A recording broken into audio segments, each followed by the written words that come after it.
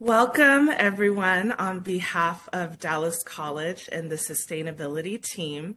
My name is Faye Davis, and I am joined by my team member, uh, Sonia Ford um, and Neil Kaufman, who are working in the background. We are also grateful for the support of the Dallas College WebEx support team. Um, so, without further ado, I want to give them as much time as we can. Um, I'd like to introduce your speaker, Michael Bell.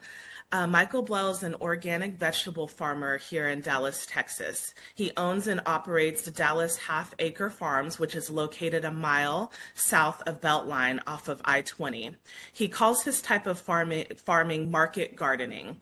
It's also known as spin farming, and some also call it urban farming. This year will be his sixth, sixth season farming part time and teaching elementary PE full time in Mesquite. He grows mainly seasonal vegetables with an emphasis on year round salad mixes. Thank you so much, Michael, for joining us. Um, please take it away. All right. Well, I appreciate y'all having me today. Uh, I'm excited to speak with everyone like you said, my name is Michael Bell. I own Dallas Half Acre Farm here in Dallas. Um, and also, like she said, there's a lot of different names you can call this. Um, like she said, some people call it farming, some people call it market gardening, uh, spin farming. Uh, it's uh, getting very popular for a lot of reasons, which I'll hope to explain to y'all today. And um, we will get started. So who is Dallas Half Acre Farm? And don't worry, guys, I'm not going to read. There's a couple of slides here that I'm going to read from, and then after that, it'll just be mainly talking. So I won't bore you with a bunch of reading, I promise. Um, my farm was created to produce the highest quality vegetables possible using organic methods with an emphasis on regenerative no-till soil management practices. And that sounds really fancy, but it's not. Um, I'll explain it in a little bit exactly what that means. As it evolves, it is becoming an on-site learning farm in hopes of not only producing great tasting, healthy vegetables, but also the next generation of small-scale farmers through internships. And that last sentence, um, kind of over time, has become almost as important to me as um, growing vegetables. I've really found a passion for getting other people started in this type of farming um, for a lot of reasons, which we'll discuss but this is definitely more than just a vegetable farm, in my opinion. So, what is no-till? Most people don't understand what that what, what that means when it comes to farming. No no-till farming is a is an ag technique for growing crops or pastures without disturbing the soil through tillage. So, tillage is everything from a uh, John Deere tractor pulling a plow to your backyard gardening uh, technique, just using a tillage every you know a tiller every summer or spring to till up your soil to start your farm. I don't do that.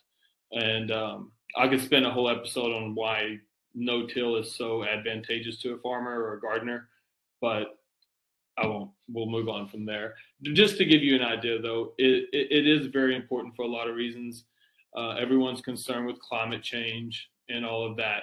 And to give you just a little bit of reference, tillage in the United States from farming, you know, mainly through the Midwest, puts more CO2 into the air every year than the automobiles automobiles do in America. So, real quick, if you think about it, when you till, you're tilling up the soil, which has carbon in it. Carbon is very important to soil management. And when you till it, you release that CO2 back into the air, which is not good. We want to take CO2 from the air and put it into the ground. Uh, there's a great video, um, and anything that I reference today that's not on the slide, you are free to email me or um, get a hold of me, and I will send to you.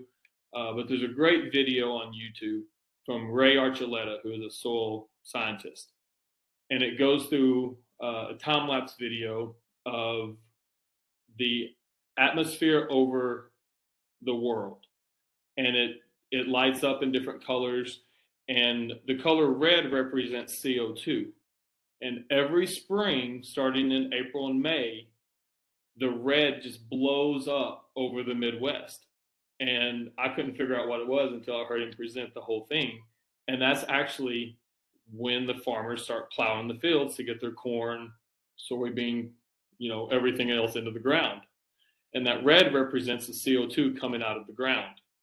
So it's just obvious at that point what tillage does to the soil. And, and plus, it's very destructive to healthy soil. So, that is a very brief description of what and why no, no till is very important. Um, the other part of that first slide, uh, why small scale regenerative urban farming important? Small scale allows you to pivot very quickly. Um, I've pivoted, changed directions with my farm several times already in six years. And because it's small um, and the way I farm, I can change directions with what I'm growing in a matter of weeks. Whereas most large scale farmers, it takes them years or at least one year, if not many more, to change directions and go from one crop to another or even one entire system to another. It's also a very low startup cost. Um, I've had one one former intern that started farming with one 50 foot bed, which I'll describe, you'll see in a few minutes, one 50 foot bed. And now she's got 909 150 foot beds that she's farming and doing very well. So it's a very, very low startup cost. I mean, you can start with almost the cost of seeds. Uh, it, it also allows you to expand slowly or as quickly as you want. And then finally, there's a there's a famous quote, and I mistyped it on this uh, PowerPoint, so I apologize that, by a guy named Gabe Brown.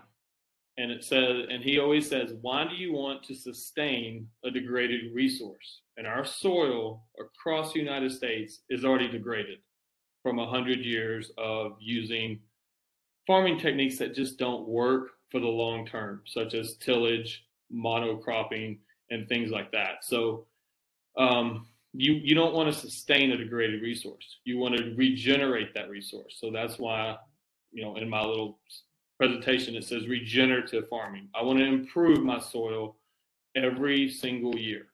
I don't want to sustain it. I want to regenerate it. I want to make it better for the next season. And finally, the, the urban farming. Urban, local is everything in food nutrition. Uh, you know, taste, you can tell the difference in locally grown food and a tomato that you eat out of your backyard and one that you buy at the grocery store uh, you know, from California. And again, I could spend an hour talking about the differences. But just know that urban and local farming and gardening, whatever you want to call it, is so much healthier for you because we allow the fruit to ripen on the vine, for example, like the tomato. Most tomatoes that are picked that you buy in the grocery store were actually picked when they were green. And then they ripen on the way to the to the grocery store and then in the back of the store and then on the shelf.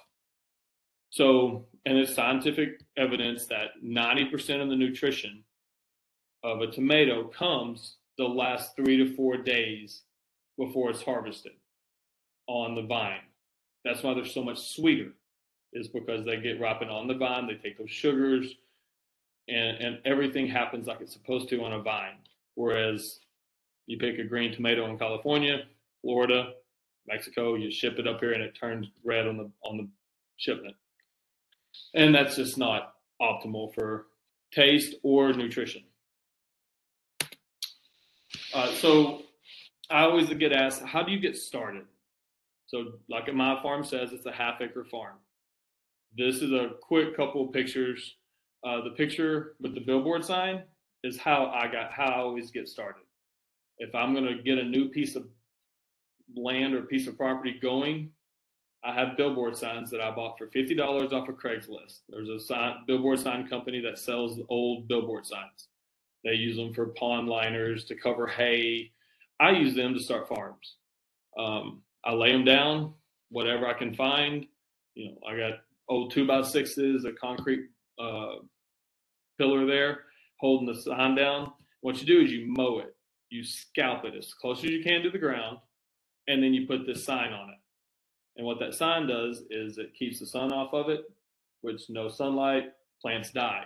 Now it does take a while. During the winter, you know, if you're going to do it over the winter, you want to throw it down October, November, and then you got to leave it till March. But if you will do that, and if you're patient, you pull that sign off, and it is the prettiest, most perfect soil that you can imagine to start with. all that grass that was on top, it has decayed and, and become good humus. And it, it's just perfect to plant into. You have a clean slate.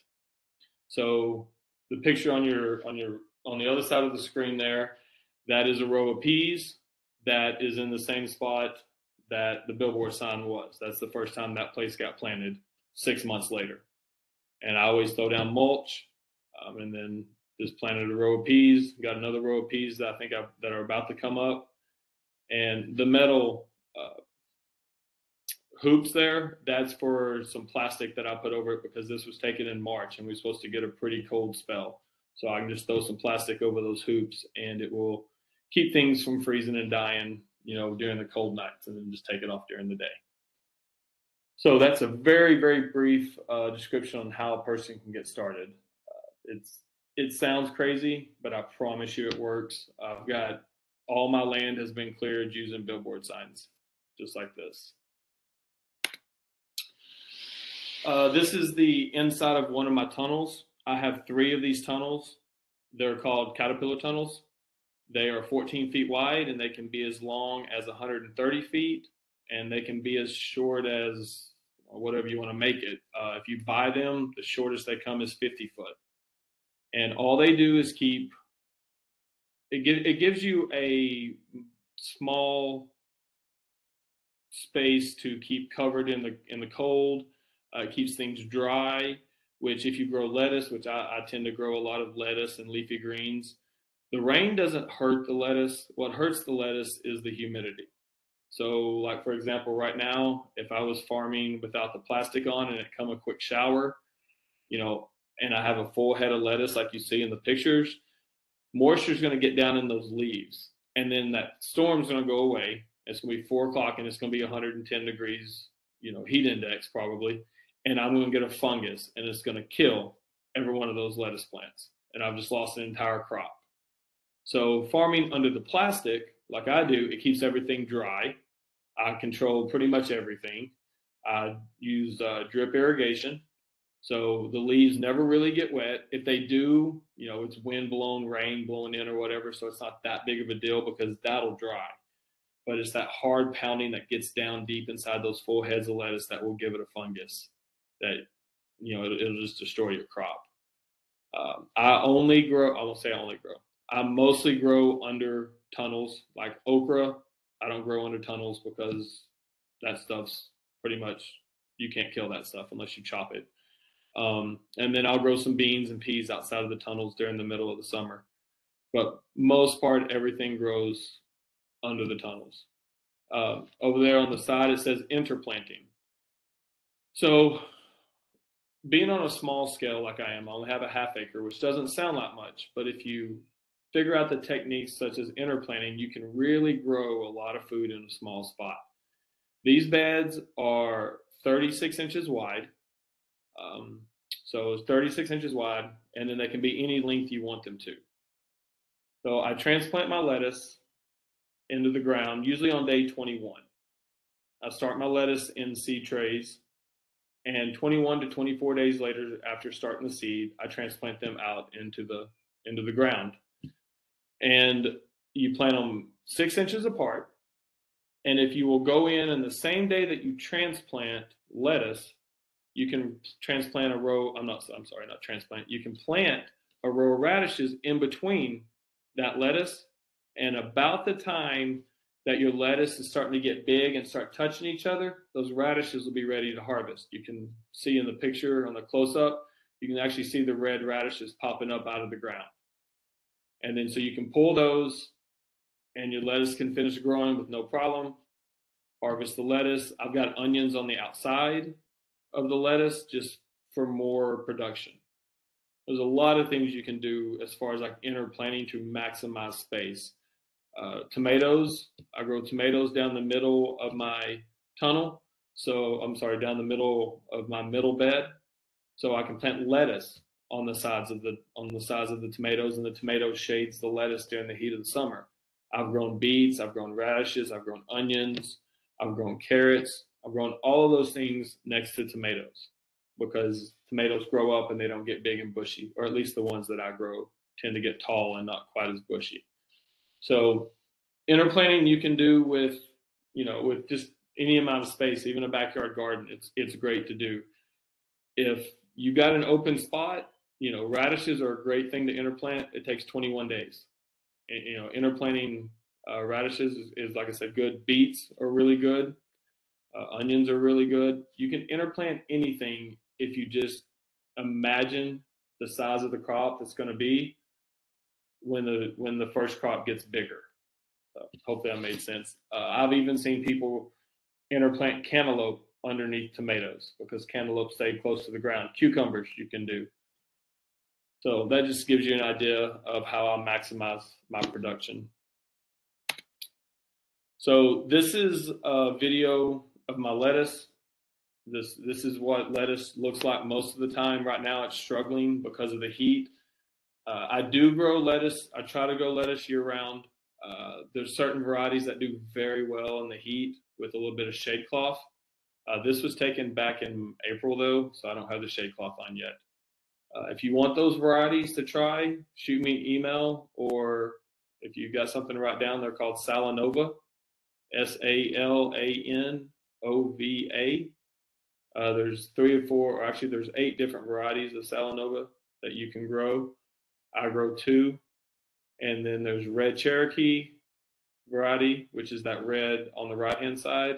And then that light green in the middle is called Muir, M U I R.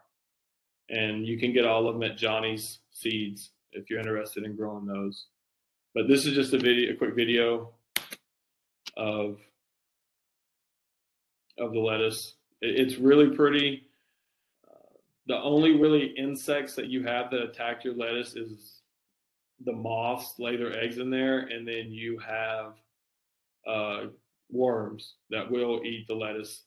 So you sometimes you have to do uh, insect netting over the top, or if you just have a few heads you're going for your backyard, just check them every day during the spring and the fall, and you can pick the little worms off. Um, I do not use any insecticides at all um, or pesticides. I don't use uh, any type of fertilizer. Um, I'll get to that in in a few minutes. And then what's great about this lettuce that I grow is called cut and come again. And when most people think of cut and come again that do garden and understand that phrase, they think they pick one or two leaves off of the, the side of the plant and then they wait and they come back the next day and pick two more. This stuff is actually you cut the whole head off of it, and then that head regrows. So you actually get two during two cuttings during the summer and maybe three during the fall and spring when it's not quite as stressed. And this is the way I harvest it. I have lights that run uh, through all of my tunnels that I connect to my solar system.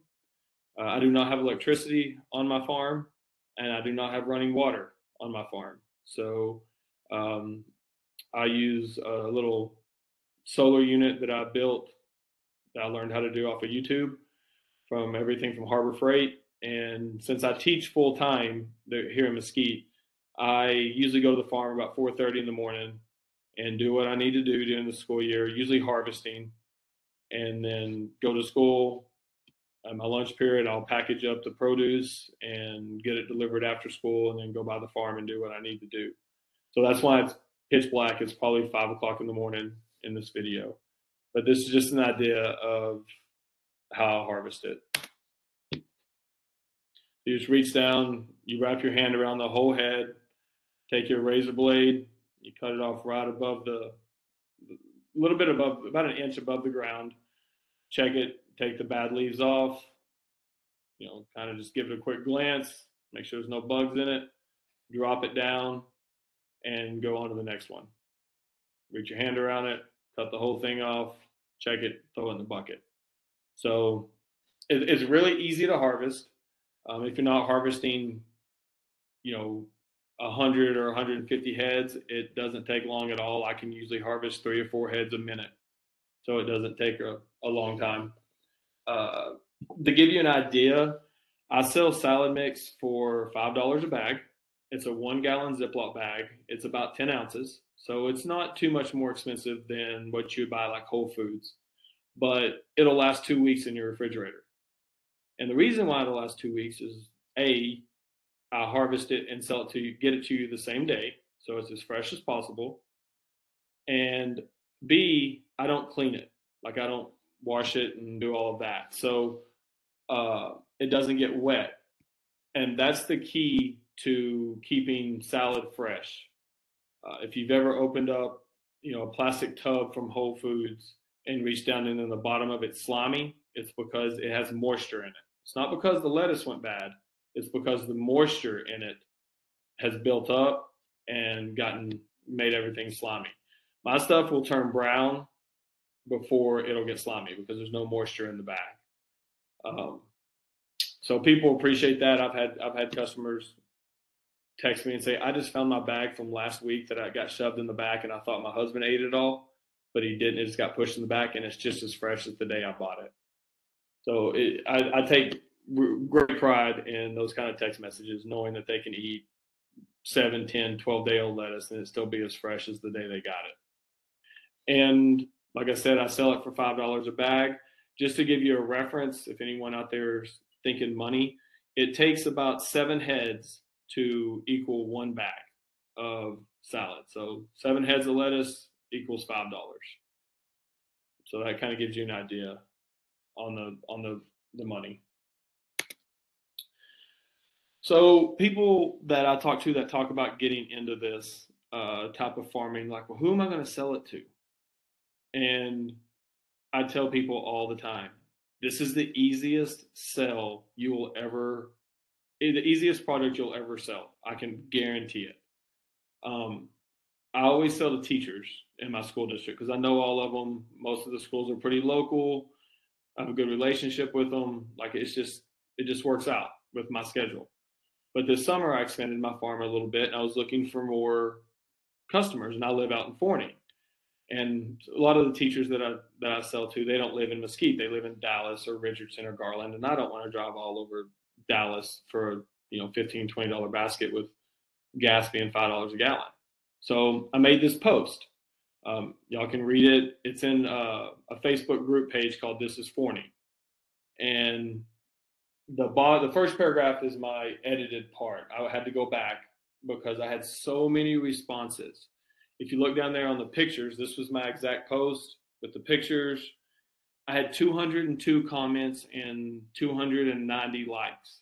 And after three days, I had to take the post down. I had to delete the post because it was just people wouldn't quit calling me. They wouldn't quit, you know, sending me direct messages on Facebook. I, I had two ladies that were crying because they were so excited.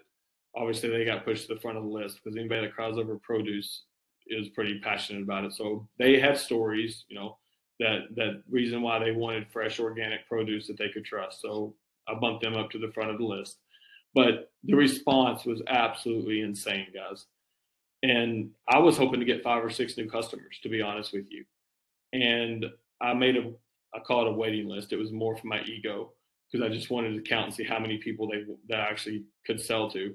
And I had 130 people, and you know, sign up or want to sign up. So I put them on a list and I said, if I have extra, I'll contact you. And that just blew me away that I could sell 130 different families produce and probably more than that if I would have left the post up. So if you ever consider doing this, and which I'm a huge advocate of, I will help anyone out there that wants to get started, that thinks they want to get started, small scale, if you want to be huge, whatever you want to do, I will help you. Please contact me. Um, but the last thing you need to worry about is supply and demand. Well, you got to worry about supply, but do not worry about demand because you can sell all of it that you want. And th- just a quick comment about this picture. These are just a couple of the things that I grow. This was an early spring basket um, around the end of March, March 25th. Um, the salad mix is up there in the top. I have 15 laying hens. So I usually sell eggs in the bath. I call it a basket. Um, the salad mix, the eggs, kale, spring onions, and radishes. And that was a $20 basket. Uh, actually, there were some carrots in there too, and I forgot to put them in the picture. So they actually got carrots also.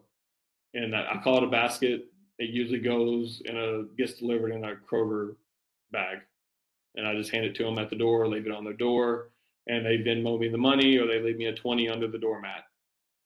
So it's very, um, what's the word? Not professional the way I do some of the stuff, but it's it works. Customers are happy. I get paid, and so it just works for my context. And I haven't had anyone, you know, complain about anything. If there's ever a problem, if the you know radishes don't taste right or the salad mix isn't good or whatever, I never ask questions. I either offer to give them their money back or take them some new stuff or give it to them free the next time. Um, it, it's not where I'm not going to lose a customer because somebody thought the radishes were filthy or the salad mix was bitter. It, it's not worth it to me. So I don't ever argue. I did have one person try to do it about three weeks in a row, and so I just didn't call to deliver to her anymore. Kind of thought she was taking advantage of it, so never caused a big stink. Just quit calling her to deliver her stuff. So resources. Um, these are the three books that I highly, highly recommend to anyone. Uh, the Urban Farmer by Curtis Stone. Uh, he is kind of like the godfather of modern day urban farming. And he got that title because he started YouTubing back in, I don't know, 2013, maybe 2014. And he vlogged every single day for 365 days, other than maybe a few Sundays. And he owns a farm, or he did own a farm up in Canada. And it's the, uh, I can't remember the which province it is, but it's right above like Idaho, Wyoming stretch of America. So it's very dry and it doesn't get quite as cold as you would think in Canada. So he farms 10 months out of the year out of his backyard as you can tell from the bottom picture of his book. He farms out of his backyard, and then he also has three or four neighbors' yards that he farms, and he makes a hundred twenty-five to one hundred fifty thousand dollars a year, and he has, you know, he, he's perfectly open about it, and he was having such great success that he started YouTubing, trying to get people to do you know the same thing teaching people very detailed stuff about each crop he does how he does things why he does things what's working what's not. Um, he uses very little uh, tools. You know everything is pretty much by the hand or by a tool that doesn't run off of gasoline so it's a very cheap startup cost. So if you're thinking about it or you just want to watch something that's really pretty on youtube as far as gardening goes look up The Urban Farmer by Curtis Stone. And then the second one, the middle guy, is uh, John uh, Martin Fortier. He does the same thing that Curtis does. Uh, his book's kind of the same, just goes into you know more detail, different different details, but the same philosophy, still the same thing. So he, um, quick story about him. He was actually approached a few years ago by a billionaire in Canada. And he was asked if he would build help him build the largest market garden known in the world. And through all these different conversations or whatever he agreed to it. So he runs a 10 acre market garden in canada that produces over a million dollars a year in sales and there's no gasoline powered tools everything's pretty much hand done except for some seeders that he has. And he pretty much proved that he could uh, scale up what Curtis was doing and what he had done on his own farm. And it's just a, amazing uh, accomplishment. He, he employs 12 people. He has 12 people, and then he has three or four interns that he brings in every year. But it's just a fascinating project that he did. So, and he also has a YouTube channel. It's not quite as in depth as uh, Curtis's, but it's it's a it's a good channel. You can learn a lot. And then finally, the the book on the right. Um, it's not so much about gardening or farming. It's more about ranching. But the guy down there, the, the, the title, Gabe Brown, he's the guy that I referenced in my opening slide. It is um, a great read if you're a nerd about soil and soil health and climate. Uh, it gets a lot into the climate aspects of farming and how cows are not the problem. It's the way we raise them, which I 1000% agree. Uh, feedlot cattle is a huge uh, environmental problem. Cattle out eating grass actually helps the actually helps the uh, environment. You know, like they, the cows eat the grass, the grass regrows, brings in more photosynthesis, brings in more CO2, and puts it in the ground where it belongs. And he's he's kind of famous for saying um, his cattle's his cattle live a great life. They have the greatest life ever. They just have one bad day, and you know, that's that's pretty much true.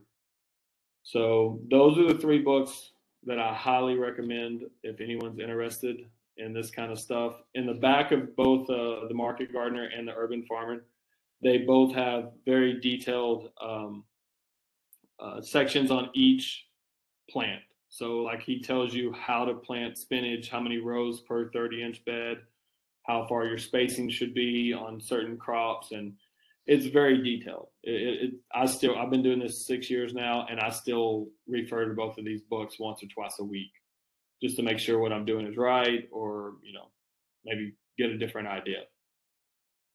Um, so th- that's the end of the slide. I'm going to uh, talk one minute about my business that I don't have slides on, but um, so the main goal for me doing this was a to introduce a new type of farming to people that might want to farm but don't realize that they can in their backyard. Like you can start as small as you want.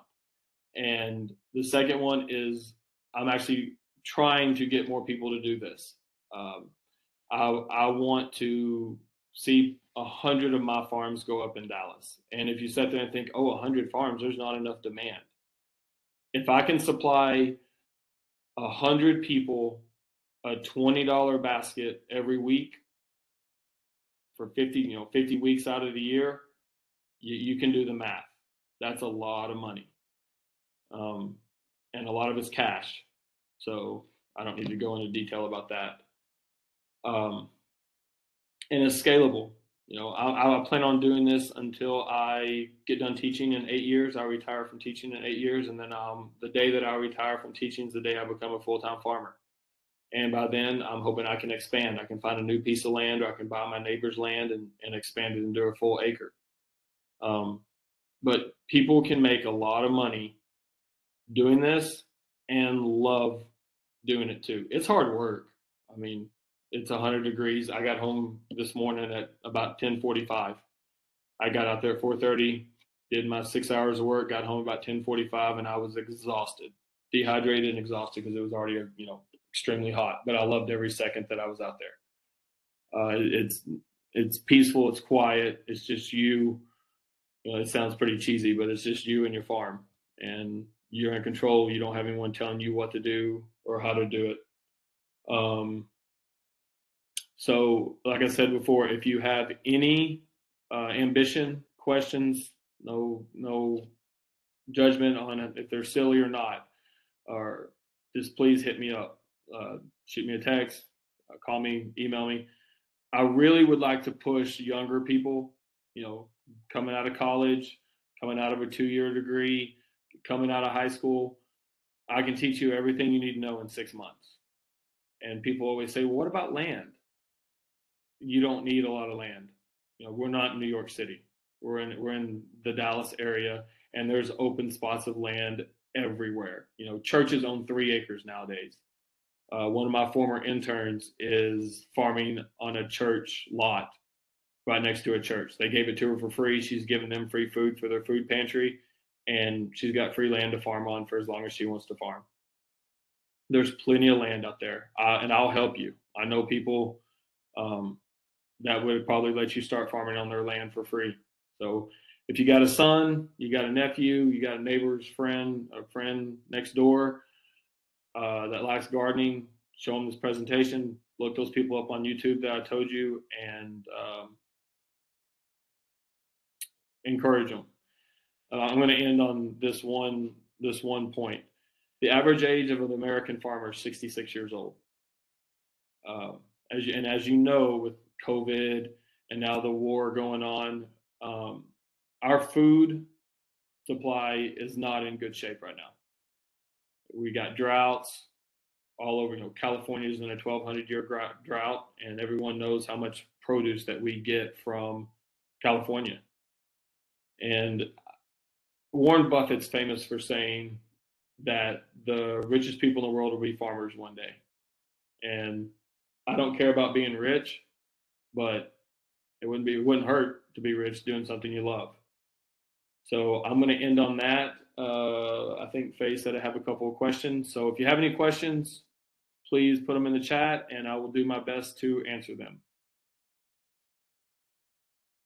Thank you so much, Michael. Yes, yes, you do have some questions. Um, fantastic presentation, by the way. Um, this is I, I hope I hope this is inspiring people to actually get I know it's inspiring me so I hope this inspires everybody else um, to get started with this. So let's let's jump into some questions. So the first question is um, with farm to table being a trend how do smaller farms farmers like yourself compete with larger farmers? Actually there's no competition um, that I know of.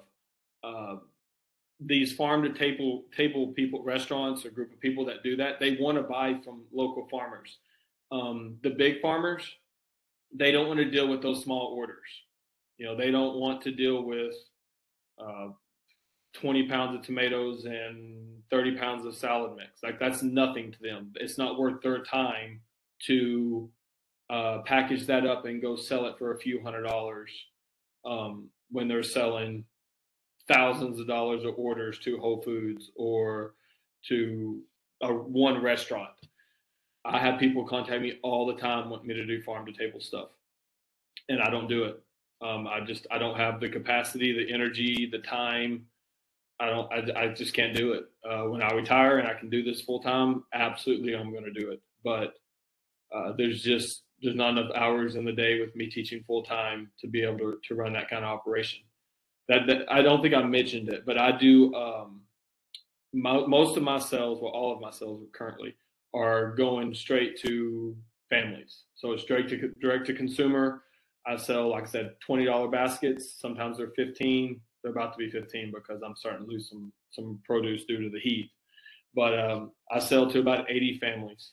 Uh, eighty families uh, every other week. So forty families a week I can possibly sell to when when crops are going good, and I love it. You know, I get to know my customers.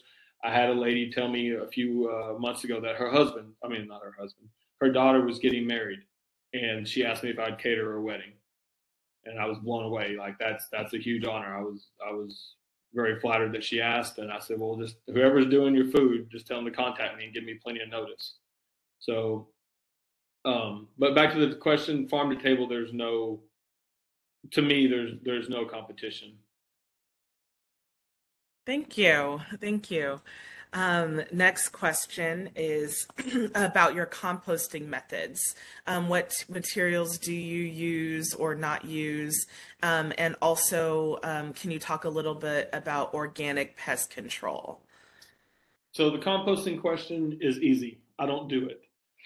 Um, I don't have, like I said, it goes back to time. I just I don't have the time to put into the compost, and I have a great compost supplier from Ron's Organics there in Mesquite. The the uh, nursery is literally two and a half miles from my farm, and I buy so much of it, I get a pretty good deal on it. I load my pickup, I go down there, get a pickup load, come back, do what I need to do with it, and I'm done.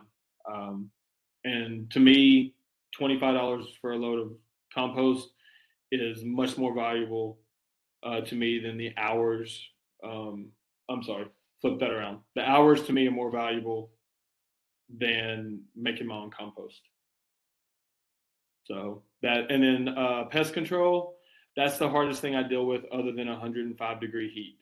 Uh, pest control, catch it early and always have a backup. So like right now, the vine borers, squash vine borers are killing my zucchini. Uh, I'm still getting zucchini, but I also have another 30 new plants that I'm ready to transplant in about two weeks because I knew this would happen. So I've always got transplants ready to go in the ground. Um, it's hard to, to tell people this, but the best thing you can do is bring in beneficials. So for every one pest that you consider a pest, there's 1,200 predators to that one pest. And I know that's an astronomical number, but it's it's it's true. So make you a flower garden, and I'm doing that. Actually, that's what I worked on this morning was a couple of flower gardens. And I hate flowers. Like I'm not a flower guy, but I understand that in order to get rid of the pest, I've got to bring in beneficial insects. The only way I can do that is to make some pollinating. It's called a pollinator garden. So when you go to build your garden, if you don't have a place to put a garden, buy you a couple of uh, bigger pots and plant you some some pollinating uh, flowers like lantana. Lantana brings in a bunch. Um, salvia brings in a bunch of nice pollinators. I know that sounds like a cop out, but that's the best answer I can give you. Always have a backup and try try pollinating garden, uh, pollinating garden. Awesome. Thank you. All right. Next question. So, um, can you talk about how you purchased the land and what, if any, permits um, you need to operate? So, there's no permits right now. Um, I'm sure the city of Dallas will pass something that'll make my life a pain. But as of right now, there's no permits required. The only thing that I have to have in order to sell is if I sell to a restaurant and then I have to have insurance or to a grocery store. So if I sell to a restaurant or a grocery store, I have to have insurance on the farm, which just says if anybody gets sick eating my food, the insurance covers the, you know, covers the patient. But I don't do that, so I don't have to worry about the insurance. Um, like I said, there's no there's no red tape when you do small scale farming. Um, if I didn't do all of this, if I didn't do things like this, city of Dallas would probably never even know that I farmed. But I actually work pretty closely with the city of Dallas on my intern program and a couple other things. So right now, I don't have to worry. There's nothing I have to get as far as permitting goes to, you know, have a garden. And then, um, I'm sorry, what was the other half of the question? Yeah, just about um, how you acquired the land and uh, how much land did you do you need? So how how I acquired the land. Um, I'll make this really short. My grandma was the one that got me into gardening, and I was five, and me and her would do tomatoes and stuff during the summer. She died when I was 17. Um, she basically raised me. I was over there all the time. Uh, but when she died, she left me seventy five hundred dollars. And when she died, I never spent that money. So that was the down payment on my farm. Um, and then I just I paid it off over the you know next few years. But um, I just literally drove around, found the internet, called a couple of realtors, told them what I was looking for, and they called me back and said, you know, this is for sale. And I went and looked at it. Not the best soil in the world, but sunlight was good. You know, east to west, I got plenty of sun. It's a good location to my house, and I bought it. I mean, it, it's pretty straightforward. There's a certain certain things you want to look for when you buy land, but um, there's enough of it out there that you can definitely. I wouldn't buy if I had to do it all over again. I wouldn't buy it. I would take my own advice and go find some empty land nobody's using and lease it or give them free produce or do something like that. But you know, I'm not going to complain about having a half acre in Dallas. Interesting. Thank you. As a follow up to that, did you have to um, register um, Half Acre Farms as a business? So I registered, I didn't have to, but I did. Uh, I have an LLC. And the main reason why I did it, and this goes for any business, is for your taxes. Um, on paper, I'm the worst business person on the face of the earth. Um, so, which not going into too many details, helps me on my taxes. So, and along with you know having a business, any type of business, there's certain things you can take off your off your taxes, such as your cell phone. Uh, my office that I'm in now at my house that comes off my taxes. Um, you know, gas, just just stuff like that. But I, I would recommend any business get an LLC. Also, because if something was to ever happen, you know, they can sue the LLC, you can file bankruptcy and start something else. If you don't have an LLC and something happens, they can sue you and take everything you own. So not legal advice, just what I was told and it made sense. So I always pass that along. Wonderful, thank you. Um, so we've got quite a few more questions. We'll try to get through all of them. Um, Keep them coming. So, yeah, okay. um, so what is your most requested item? Salad mix and tomatoes. And honestly, that's that's what I started with. My very first crop was salad mix, um, and it's it's easy to grow for the most part once you kind of figure out the bugs and the heat and you know n- nothing. I can sit and talk to you all day about growing salad, but until you do it once, like trying to do a weekly harvest every week, you, you don't get it. Like it's just one of those things that experience is the only thing that helps you. But salad mix and then this is my first because everyone loves a good salad, and good salad at the grocery store sucks. I mean, like it's just awful, especially when you've had fresh salad and you go back to the grocery store. That it, it's it's just not the same. And then of course, um, tomatoes. If you're gonna eat salads, you got to have cherry tomatoes. So those are the two, and those are my two biggest sellers. Thank you. Um, next question. Um, do you do any type of companion planting? Um, and then uh, she also added it. Uh, she's guessing it may not be necessary in a tunnel. Um, companion. See, I, I kind of compare companion planting and interplanting together. Uh, I know there's like the three sisters methods, which is corn, uh, green or corn, peas, and uh, squash or cantaloupe or something. Um, if you get into the soil sciences, they they talk about more about just having more living root in the ground as opposed to exactly what you want to grow. Uh, certain things do grow better with certain things, but to me, if it fits, I put it in the ground. There's there's no really the only thing that I do uh, pretty much religiously do is plant some sort of legume, green bean, black eyed pea, uh, something like that every few seat every few rotations into my salad bed because legumes take nitrogen out of the air and put it in the soil in the form of like nodules, like little bitty BBs, okay, really really small BBs, and then um, when I go to remove that legume crop, green beans, like right now, tomorrow I'm going to be taking my green beans out because they burned up. Instead of pulling the root out of the ground, I will take uh, hedge clippers and I'll just go right down the row and cut them off at the ground. Leave that soil not disturbed. Leave all that nitrogen nodules in the ground. It will dissolve. And then in the fall, when I come back to do uh, salad mix, I'm planting salad on top of that uh, those green beans roots because those roots will have started to dissolve. It'll be easy to plant. And then lettuce needs nitrogen. So lettuce will take the nitrogen from those nodules and um, it's free fertilizer basically. Thank you for clarifying that. Um, next question. Um, do you donate any of your veggies to food banks or food pantries? Um, no, I don't for several reasons. Uh, one, I can't keep up with the amount of demand that I have now and I'm, you know, I'm still trying to grow my business. Two, I don't have a food bank that I know of out in Forney and the Mesquite area, right off the top of my head, that takes fresh that takes fresh stuff. You know, there's plenty of food banks that take canned goods, but it's a little bit harder to find places that will take fresh because it's got to be given away so fast, and the turnover rate has to be pretty quick. So um, I do not do that uh, at this moment. Now, in the future, I would love to but right now I'm just not able to. Thank you. Um, so um, we've got kind of a business question. So how do you how did you build your social media following, and do you do your own marketing? Uh, yes, I do my own marketing. I do my own everything except taxes.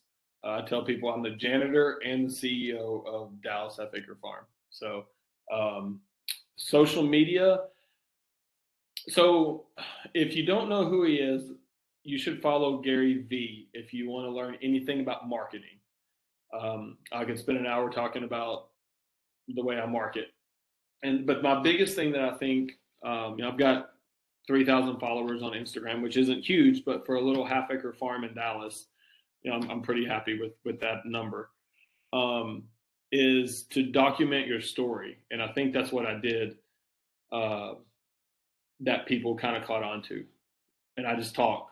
Like I'll do videos and I'll just talk, and sometimes I cuss, and sometimes you know it's a really bad day, and I just lost all my salad mix to worms while I was sleeping and woke up the next day and it was all gone. I post a minute video about it and show them and tell them what I should have done right and how it could have been prevented or, you know, whatever. And then I show the good things. And, you know, every day I try to post something that involves the farm um, and try to teach people, you know, the things that I've learned, like, like all the, the, the videos that y'all saw in here, those come from my Instagram page, uh, just to try to show people what to do. So when I post on Instagram, I try to document stuff, like I said, instead of showing the good side of stuff. It's more like documenting my journey.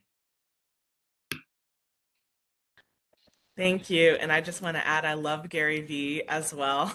And I know his his whole philosophy is, you know, what are you contributing to your audience instead of, you know, just selling something you have to contribute to them as well. And I think that's exactly what you're doing. Um, you know, your uh, all of your posts when I was going through your Instagram, um, it like they actually help your audience versus just promoting your business. Good, good. Well, and I don't want to promote, promote my business anymore because I can't keep up with demand. So like it just kills me when I, people call me like, "Hey, can I get some stuff?" And I, I just tell them no, I don't have it, and it just, oh, the business side of me just goes nuts.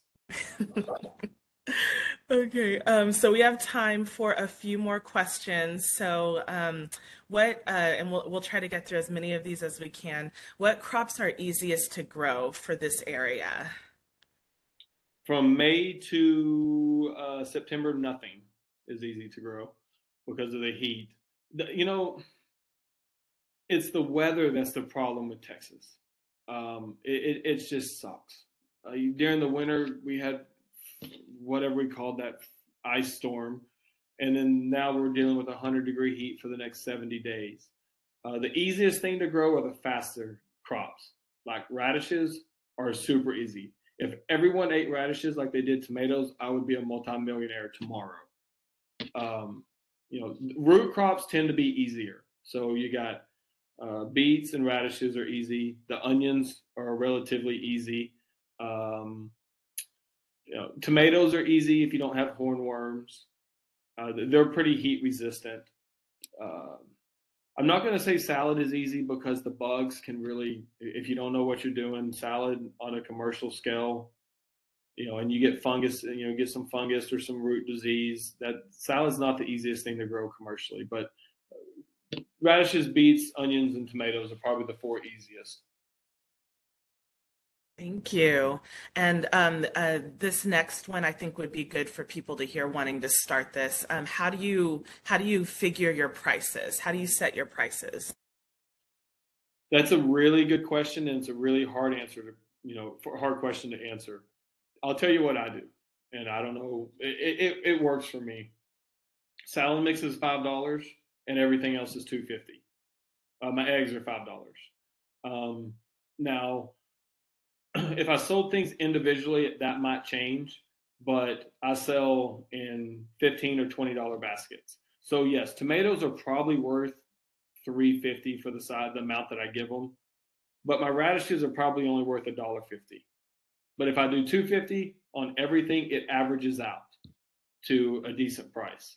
Um, and, and when I say 250, that for everything else, that's when I'm figuring up the basket. So if I've got salad mix and five items, you know, that's seventeen fifty. Or if I got salad mix and four items, that's that's uh, you know fifteen dollars. So it's I, I, just try to make everything two fifty and then over give. Like I, I give them more than what they really should. So if I've got five radishes in a bunch, I usually give them seven. So that's that's really about it. I, I wish I could give you a better scientific or formula or something, but that's just the way it works at my farm.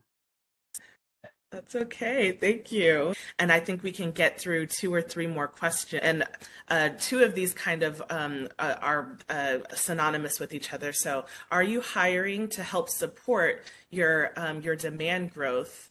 Um, and that kind of fits in with, with are you trying to do this full time or are you okay with this being um, uh, something you do um, along with uh, teaching PE? So the second question first. Um, no, I'm not trying to do this full time. I have eight years to retirement, and if you know anything about teachers in retirement, um, you have to work X number of years to retire, and I would be a fool to quit teaching with eight years left and give up my retirement. So all I'm trying to do is make my farm as the most productive farm that I can to get it ready for you know June 1st of 2030. And June 1st of 2030, I become a full-time farmer. And I get my retirement from school, and then I can farm full time. Money won't be a problem, and you know, so that that's the, the answer to that question. No, I'm not trying to do it full time.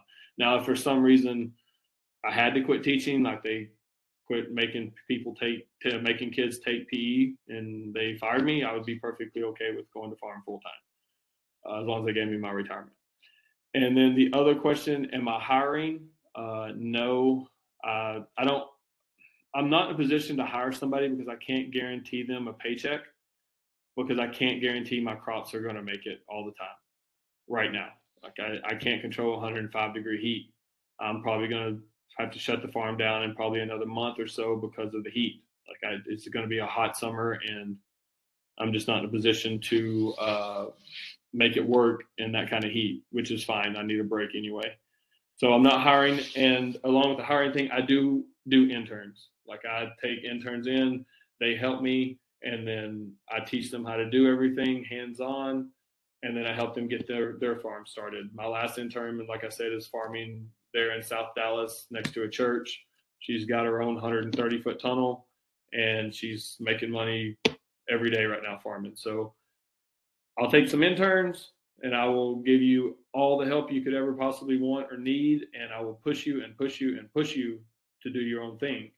But as far as hiring, no, I'm I'm not hiring anyone. Thank you. And so um, we'll end it off on um, one last question, and I'll combine two of these so we, they can get their, the audience can get their answers. Um, so, what is the name of the lettuce that you grow um, that you were referencing, and how many chickens do you have? Because um, in that picture, um, it said that uh, I saw some eggs. Yep. How many chickens do you have? I have uh, 15 laying hens right now. And what is awesome is I am getting 20 quail uh, next week for here at the house. So I'm hoping the quail goes well because I want to really expand the quail uh, egg business. I don't know how many are familiar with quail eggs, but um, I will have those soon. It's more of a self sufficiency thing. Uh, I'm a little bit bigger guy, so I eat a lot of protein, and protein's expensive, and I love eggs. So I'll eat the quail eggs and sell all the, the chicken eggs to my customers that I can. So that's I have 16 lane hens right now. And then the other question, remind me again. I'm sorry. Yeah, the name of the lettuce oh, that you. There's three types. There's Salanova, S A L A N O V A, and there's a lot of different varieties of that Salanova. If you want more information on that, on which varieties, exact varieties I grow, email me, call me, text me, whatever. And then there's also Muir, M U I R, and then probably the best one, if you're just wanting a backyard garden one, is Red Cherokee or Cherokee Red. I don't remember which one, which which order it's in, but those those, those are the three main ones that I grow. And if you want a summer green, Red Russian Kale does very well too. Just pick it when it's a little bit bigger than your thumb. Uh, it's very heat tolerant too, so I, I add that into my mixture just to give it a little bit of a different flavor from week to week. Awesome, thank you. And I and I want to squeeze in one more. I think we've got one more burning question. It was posted twice. So Antoine, as a uh, says, as a chemist, I must ask, what are your best strategies to balance the pH or soil chemistry that is best for your chief crop? Oh goodness, you could have left that question off. Um, so how do I put this? If my stuff grows, I don't look at it. Like I don't even care um, I haven't ran into a pH problem yet because the compost that I get is already is is pretty balanced just because everything grows.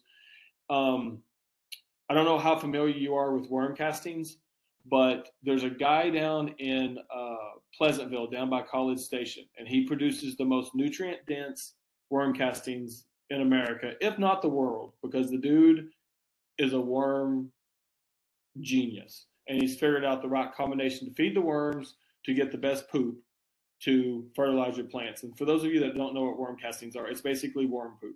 But the awesome thing is, it smells like dirt. Like you would never know it's poop unless somebody told you if you picked up a handful of it. It's the most beautiful, black, rich um, substance you've ever seen. And he has taken tests from all over America, from all these other worm farms, and he actually has them hanging on his wall. You know, and he shows everybody these are my castings results next to all of these others, and they are by far the best. And I was lucky enough to get hooked up with him years ago, and that's what I use for 95% of my fertility. And I think that's why I don't have like a pH issue. I don't have a nitrogen um, deficiency or anything like that, Antoine. Um, the worm castings are so good that they just balance out everything. And also do a ton of cover cropping, which I didn't talk about because that's a whole nother segment. So I think the cover cropping also keeps my um, my soil in good shape, along with the other strategies of no-till, keeping it always covered, keeping a root in the ground. All those strategies keep my soil very well balanced out. That's a great question, and I wish I had a scientific answer for you, but I don't. Thank you so much, Michael. I wish we could keep going, um, but that is all the time we have today. Um, thank you to the audience for joining us. Um, so thank you, Michael. This has been a fantastic presentation. Is there, um, oh, perfect. I was just going to say, um, is there a way the audience can contact you? Um, you can find his contact information right there on his slide that's up.